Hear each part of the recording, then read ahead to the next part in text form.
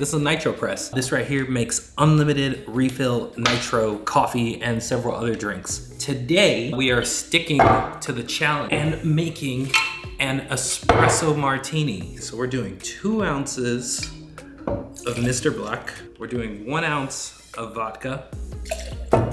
I always say as much coffee as you want. I'll be honest with you, I don't know how much this weighs, but yeah, that much coffee.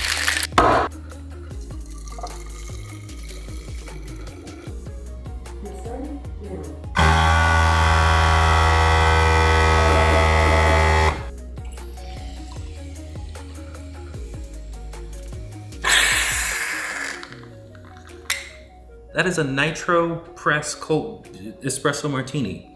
See if it tastes any different. Let's see.